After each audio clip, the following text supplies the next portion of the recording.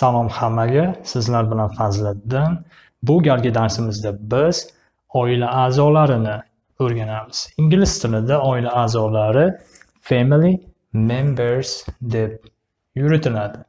Albatta, oila a'zolarini tanishtirayotganda doimo yoshi yuqori bo'lgan insonlardan boshlaymiz, ya'ni bobomiz va buvimiz. Ingliz tilida bobo grandfather, buva esa grandmother deb yuritiladi. Tasavvur qilaylik, sizning dadangiz, ya'ni otangizning otasi siz uchun grandfather, onasi esa grandmother hisoblanadi. Otangiz esa siz uchun father, onangiz esa mother deb yuritiladi. Keling, tasavvur qilaylik yana. Sizning oilangizda sizning akangiz yoki ukangiz va singlingiz mavjud. Akangiz brother, singlingiz esa sister deb yuritiladi. Keling endi siz yoshi o'rta yoshga borgan insonsiz. Ya'ni agarda siz turmush qurgan bo'lsangiz, agarda ayol kishi bo'lsangiz, siz uchun turmush o'rtog'ingiz husband Agarda erkak kishi bo'lsangiz, sizning turmush o'rtog'ingiz wife deb yuritiladi. Demak, siz va ayolingiz agarda ayol kishi bo'lsangiz, siz va sizning turmush o'rtog'ingiz o'rtasida farzandlar bo'lsa, ya'ni o'g'il farzandingiz bo'lsa, u siz uchun son, agarda qiz farzandingiz bo'lsa, u siz uchun daughter deb yuritiladi. Agarda sizning o'g'il farzandingiz turmush qurgan bo'lsa, uning turmush o'rtog'i, ya'ni ayoli siz uchun kelin hisoblanadi o'zbek tilida, ingliz tilida esa kelin daughter in love deb yuritiladi. Agarda sizning qizingiz turmush qurgan bo'lsa, uning turmush o'rtog'i siz uchun son in law ya'ni kuyov hisoblanadi.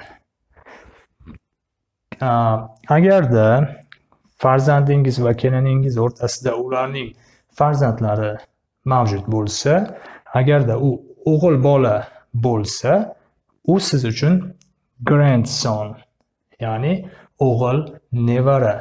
Agarda u qiz bola bo'lsa, granddaughter ya'ni nevara qiz hisoblanadi. Xuddi shu yondashuv qizingiz va kuyovingiz o'rtasidagi farzandlarga nisbatan ham ishlatiladi. Ya'ni agarda ularning o'g'il farzandi bo'lsa, u siz uchun grandson, agarda qiz farzandi bo'lsa, u siz uchun granddaughter deb ataladi. Keling endi boshqa qarindoshlarimizni, yaqin qarindoshlarimizni ham o'rganaylik. Dadangizning, otangizning akasi yoki singlisi, opasi yoki ukasi bo'lsa, aka yoki ukaga dadangizning aka yoki ukasi siz uchun doim uncle, ya'ni amaki deb yuritiladi va dadangizning singlisi yoki opasi siz uchun e, amma hisoblanadi va u ingliz tilida aunt deb yuritiladi.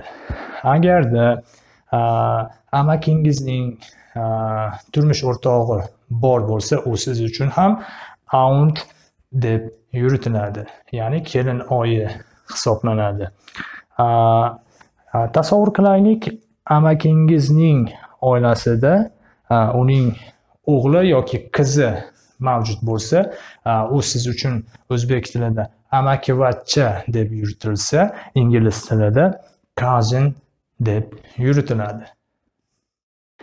Oilangizda akangiz va kelin oyingiz o'rtasida ya'ni ularning oilasida ularning farzandlari bo'lsa agarda u o'g'il bola bo'lsa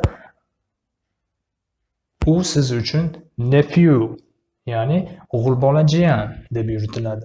Agarda u qiz bola bo'lsa niece ya'ni qiz bola jiyan deb yuritiladi.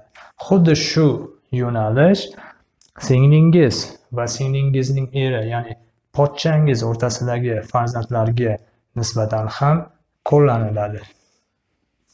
Mana aziz do'stlar biz ingliz tilida oila a'zolarini eng yuqori yoshdan tortib eng quyi yoshgacha bo'lgan insonlarni o'rgandik. Mana sizlar bilan ingliz tilida oila a'zolari qanday nomlanishini ko'rib chiqdik. Keling endi yangi so'zlarni takrorlaymiz. Grandfather bobo. Grandmother buvi. Father ota. Mother ona. Brother aka yoki uka sister opa yoki singil uncle amaki yoki tog'a aunt xola yoki amma cousin amakivachcha yoki xolavachcha nephew o'g'il bola jiyan niece qiz bola jiyan son o'g'il farzand daughter qiz farzand sister in law kelin oyi brother in law pochcha son in law kuyov daughter in law kelin grandson o'g'il nevara granddaughter qiz nevara. Mana aziz do'stlar biz ingliz tilida yangi o'rganilgan so'zlarni ya'ni oila a'zolari nima deb nomlanishini o'rgandik. Darsimiz sizga ma'qul kelgan bo'lsa bizning english with fazliddin kanalimizga obuna bo'ling va bizdan uzoqlashmang.